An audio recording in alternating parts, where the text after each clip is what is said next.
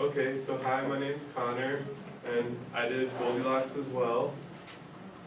And so I first started with Goldilocks, and I had an oval as the original shape, but I decided that I didn't like that, because like, in the story, she's described as like this evil girl who like kind of like intrudes on the bears.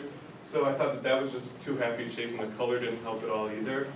Um, so then I went to a triangle, because that was more evil, and then I thought that maybe like a bland hair color would fit better, but then I, it turns out that I went, ended up going back to gold because the gray was like too bland of a color for the scene. Um, so then I put like, I um, just played around with putting like circles and ovals as her hair and ended up going with um, the bottom one with like a half circle and then like a bunch of little circles to like represent her hair. And then the three bears, I started with like a lighter brown with like a rounded rectangle because like I thought that that would be a good shape because it wasn't like too hard of a shape. It had like the softed edges and stuff. But I found that I didn't really like that. Um, so I changed the color and then added like um, some like gold lines to kind of add more difference besides the size, like the size of the bears. So I put like a thick one for the big one, a middle one, and a small one. But I didn't like that either, so then I tried putting a whole bunch of circles together, but that was just too abstract to be the bears, like, let's be real. Um, and so then I ended up going with the final one, which is just like um, a whole bunch of circles to like form the bear. And then the first scene, I started with like a kind of like side view of the house, and like that's a window, and like three bears are leaving into the woods. But I didn't like the composition, nor did I really like like how um, it like looked on the screen. So I ended up changing the house to then leaving like towards the front. And then I changed the color of the door to black. But um, then in the next one, I ended up changing it to white because I thought that that, like, because they're not evil bears, like, they're, they're the innocent ones in the story, and, like, she's the one that's intruding on them. So I ended up putting their houses, like, I changed the doorway to being white because then it looks like a light, cheerful house. And then I added the bears leaving towards the front and the um, the footprints like showing that they're leaving house. And then Goldilocks is kind of like peering out from like around the tree because she's gonna like go in when they're gone.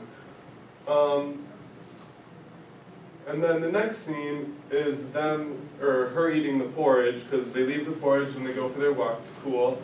Um, and so she's like testing the different bowls, and I like put her in the um, towards the middle because it just made a better composition.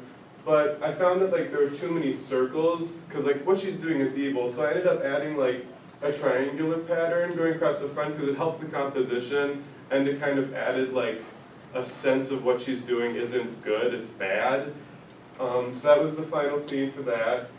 Um, and then the third scene I wanted to put her in a bed, and so I started with just like a simple mattress because I thought that that would look good. Um, and then I put the bears like in like a diagonal line across the screen so it made a good composition. Um, but I thought it was like a lot of negative space just everywhere and it was kind of heavy down there. So I ended up um, adding some like trees to the window and some like floorboards to make a wood floor. Um, and then I ended up adding a door because I thought that, that was still a lot of empty space over there. And I added like a bed frame because it made, it just looked better. it looked more like a bed, so it was kind of abstract before. And then in the final version,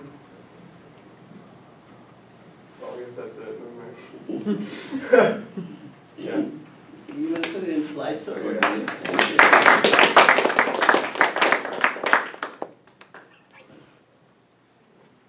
Is that good? Yeah, Why don't you drag that window over so that people aren't distracted? Um, no, I mean, make it bigger, I'm sorry. Pull the bottom corner there. And then people aren't distracted by all that background stuff and you can make those a little bigger so we can see a little bit. Yeah, there, that's good.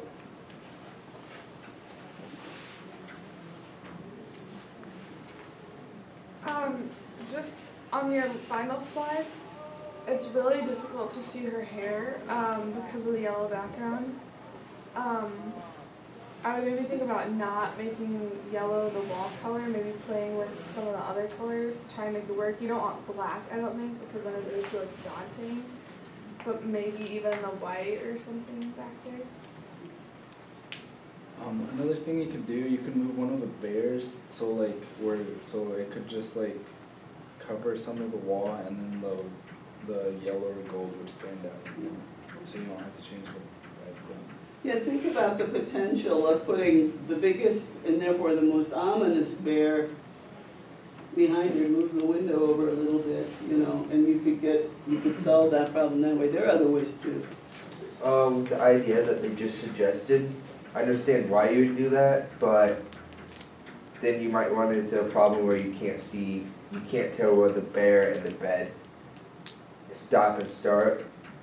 Uh, it looks like the bear might be enough to where you could, but I, I know PowerPoint sometimes isn't the easiest. You try to put something somewhere and it has its own mind sometimes where it wants it, so it could It interfere could with that. create a new problem, Yeah. but there would still be a Yeah. chance to solve that problem Yeah. too. I think what you could do was have the bears surround the bed more. Mm-hmm. And like you can put the biggest bear in front of the window, behind the bed, on the other side. That way they're all around her instead of having them in that straight line.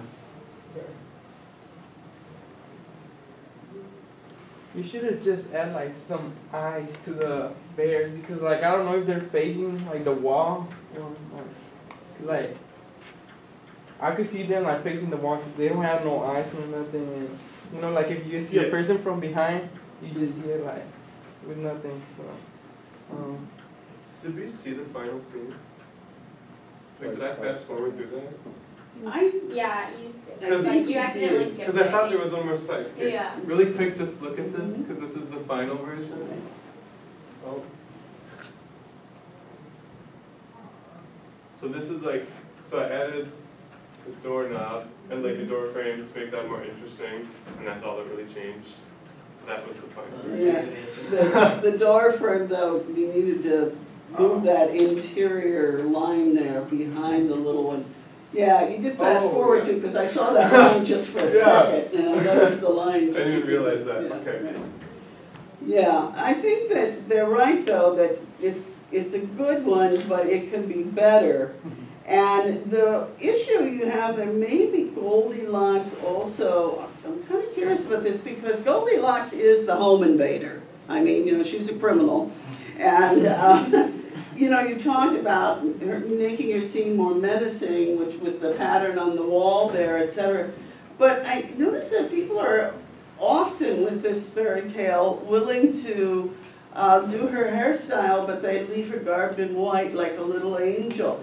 You know, you could put a zigzag pattern or something nasty on her dress too, you know, and that would help with making her stand out in the bed and getting across the fact that she's a little brat. Now, I know a little girl comes to this house, we don't like to call her a home invader, but, man, you know, if you're around a six, seven, eight-year-old kid long enough, you know, they can be pretty nasty. And she goes in and she spoils their dinner and she, you know, gets in their beds, etc. She probably had her hands all sticky from porridge and went in there and got the beds all messy.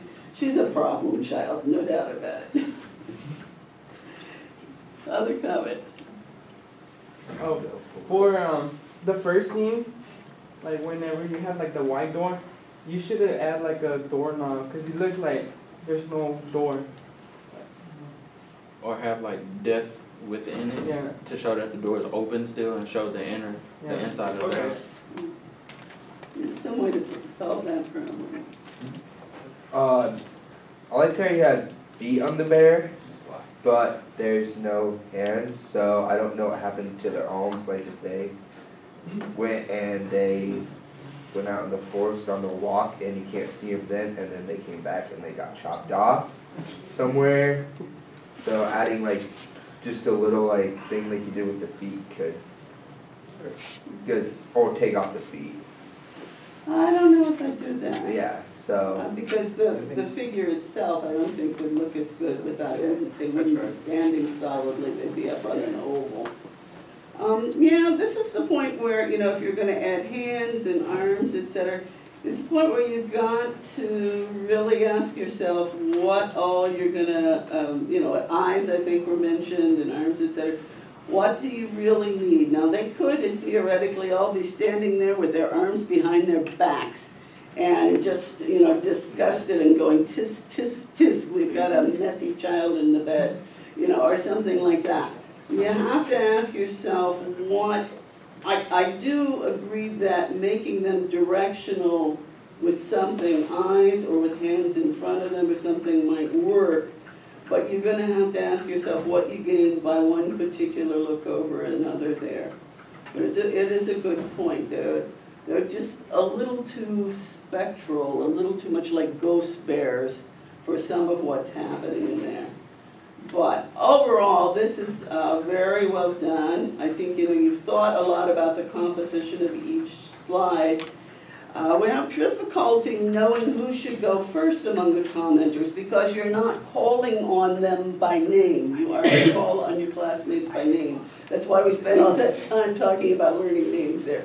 But um, aside from that, I think you presented it well. And, you know, the little blip on the last slide was not a big deal there. Um, But I, I really was impressed with their ability to use the whole slide and to really think about composition of the slides. I thought that was a- one of the really strong, strong points of this. Other problems you can work out before you put it in your portfolio. I have one thing on your top right. I know that I heard like you had a mistake, and I don't know if that was your mis- mistake or if it was like the Bears or something happened. I don't know what your exact mistake was that you had that you two were talking about that you emailed her about. Oh, no, it was, it was about, actually, I think he corrected it after the email exchange, and I just didn't get the email until then. Oh, okay.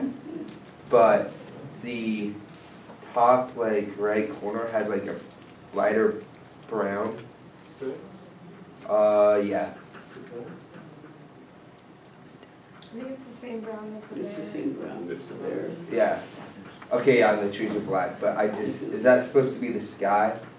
It's, No, yeah, it's just the horizon. it's just the horizon line. Okay. It was kind of like empty up there, so I thought I needed to put it. Okay. You know, how some of you envision these, you gotta remember, um, the stories, they are in the woods. And so if you create a, a horizon line, you're probably not gonna have a blue, bright sky above it, you know, it's, it's still gonna be a dark area because of all the trees. Okay, thank you very much.